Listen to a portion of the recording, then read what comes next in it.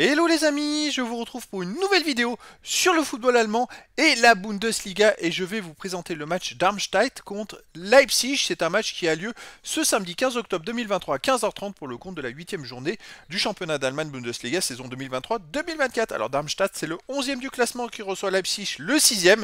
Donc dans cette vidéo je vais revenir sur le classement et les statistiques de ces deux équipes en Bundesliga. On verra aussi le classement des meilleurs buteurs et meilleurs passeurs de, de cette de ce, championnat avec les meilleurs buteurs et passeurs pour ces deux équipes. On enchaînera par les 10 derniers résultats toutes compétitions confondues avec les stats pour ces deux équipes et on terminera par les compos d'équipes et tactiques éventuelles, ce qui nous permettra d'avoir une idée, une tendance à ce match. Pour ceux qui souhaitent voir ce match à la télé, sachez que vous pouvez le voir sur Sport 6. Alors c'est parti, donc au classement, Darmstadt est donc 11e de Bundesliga avec 7 points en 7 matchs, 2 victoires, 1 nul, 4 défaites, 12 buts marqués, 19 encaissés, moins 7 de différence de buts, ils prennent quand même pas mal de buts.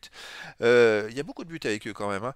Leipzig est donc de son côté 6e avec 14 points en 7 matchs, 4 victoires, de nul, 1 défaite seulement, 16 buts marqués, 6 buts encaissés plus 10 de différence de buts. Bon, ils sont pas très loin des premiers, euh, ils font un début plutôt correct.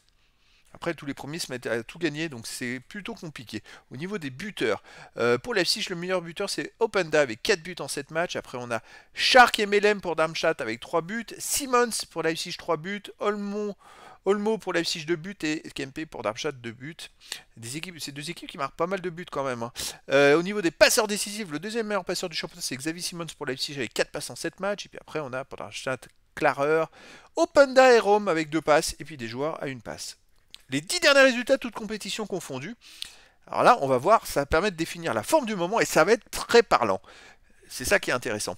Darmstadt, sur les 10 derniers matchs, c'est 3 victoires seulement, un nul, 6 défaites, 17 buts marqués, 27 buts encaissés, c'est assez catastrophique, moins 10 de différence de but. La différence, c'est que Darmstadt vient de faire 3 victoires de suite.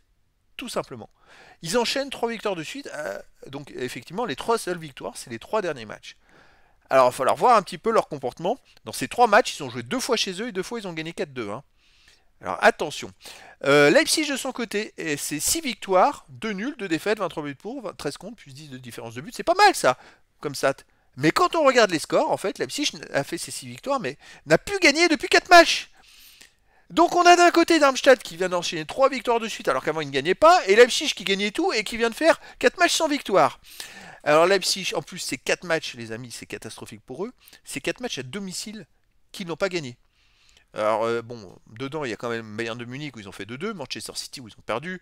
Mais euh, après, bon, 0-0 et euh, un match amical où ils ont pris 4-2. Donc, ça va pas trop. À l'extérieur, on remonte à Wiesbaden 3-2 à l'extérieur, à Mönchengladbach 1-0. À Young Boys en Coupe d'Europe, ils avaient gagné 3-1. Et à Union Berlin 3-0, ça marchait bien avant. Qu'est-ce qui s'est passé euh, sur ces derniers matchs pour que ça capote comme ça?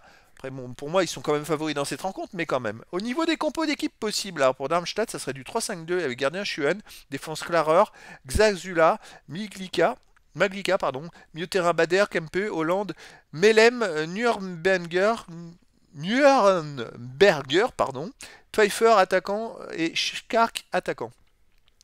Et pour euh, Leipzig du 4K2 avec Blaswitch en gardien, défense Rome, Lukeba, euh, Klosterman, Simakan, milieu terrain Forsberg, Kempel, Schläger, Simons, attaquant Poulsen et Openda. On a quand même Openda, l'ancien Lançois qui est là, euh, Forsberg qui est plutôt correct, très très bon joueur même, et puis Lukeba qui vient d'être appelé en équipe de France, le défenseur, qui a été acheté à l'OL. donc Leipzig, il y a des petits nouveaux qui sont là, mais bon, on va voir, ça va être un match très intéressant. Est-ce que Leipzig va repartir de l'avant?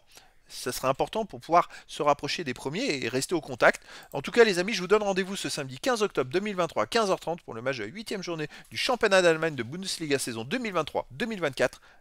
SV Darmstadt, le 11e du classement, reçoit le RB Leipzig, le 6e. Voilà les amis, je vous dis à très bientôt pour une nouvelle vidéo.